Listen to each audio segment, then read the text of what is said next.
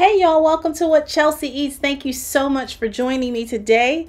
In this video, I'm going to be sharing with you this cleansing fruit smoothie recipe for detoxification.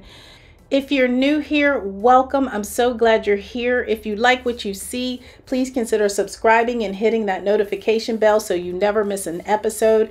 And by the way, I will be putting all the ingredients and the amounts of this recipe down in the description box below. Let's get into the recipe.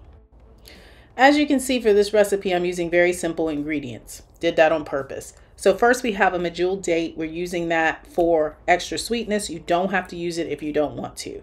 The next ingredient is pineapple. It's a citrus, so it's very detoxifying. Citrus fruits are detoxifying.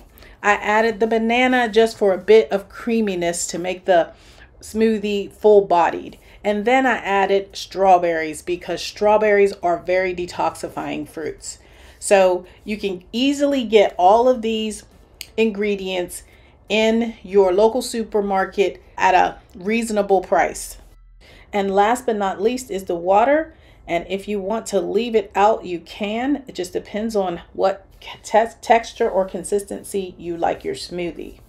The next step is just to add all of your fruit to your blender. And as you can see, I'm using fresh fruit. It's not frozen, so it's easily blendable. So you can use whatever kind of blender you have on hand. You don't have to worry about having a high speed blender.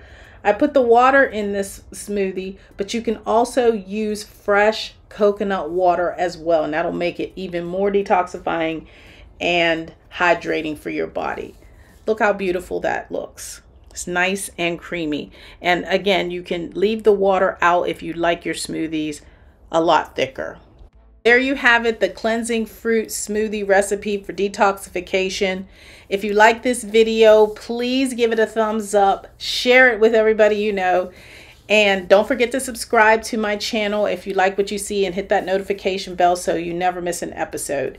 If no one told you they love you today, Chelsea in North Carolina loves you very much and thank you so much for joining me. Take care.